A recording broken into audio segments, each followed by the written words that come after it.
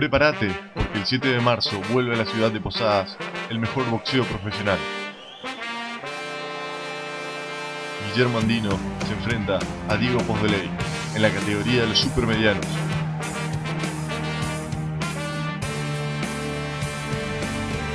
Y la vuelta esperada de un grande, Javier La Cobra Andino contra Rodrigo Patiño de la ciudad de Formosa.